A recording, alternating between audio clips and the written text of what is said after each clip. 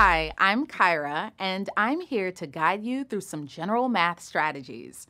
In this video, we're going to cover a fundamental math skill, reading the question. Your first instinct is probably to jump right to the math, but hang on a sec. If you take the time to read the question carefully and organize the information you've been given, you're much more likely to calculate the correct answer. With that in mind, let's jump into the three ways we're going to organize information in ACT math questions. First, underline the facts. Next, circle the keywords. And finally, label the answer choices.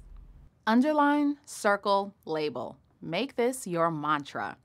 Later, I'll show you how to break the facts out into chunks. Let's read this problem for practice. What is the largest integer smaller than the square root of 50?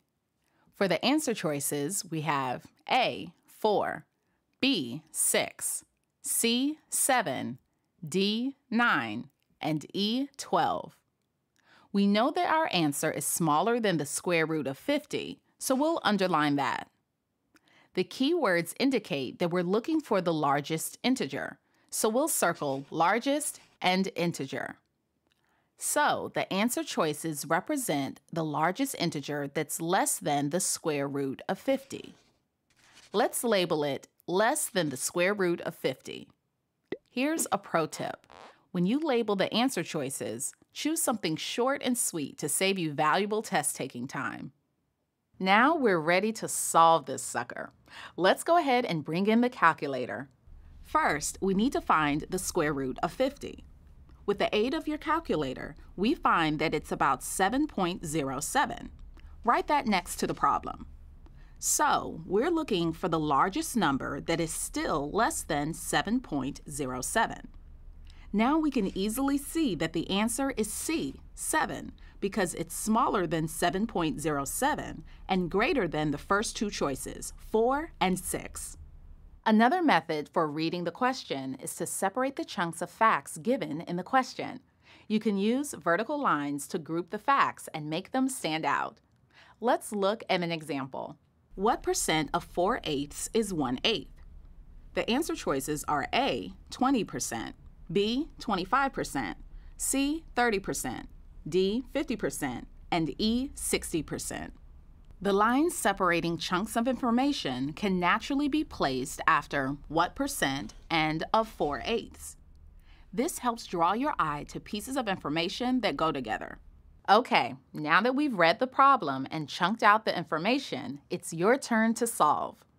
We're giving you this pause and solve problem to work out on your own. Grab a sheet of scratch paper and a pencil. When I say pause, you'll pause the video and work through the problem on your own. When you're done, unpause the video and we'll go through it together. Okay, ready, set, pause.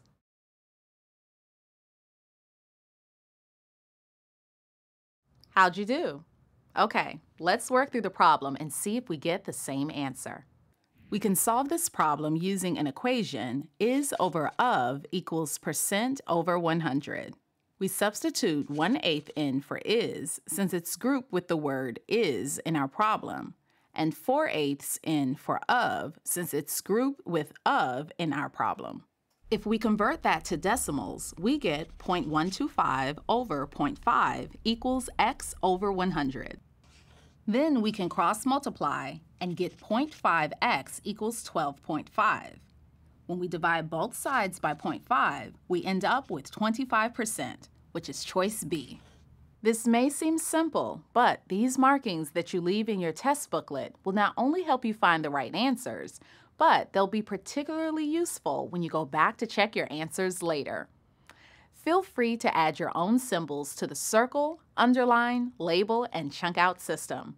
Anything you can do to make the important information stand out will help you on test day. Now, make sure you practice a few of the hundreds of problems available throughout this course.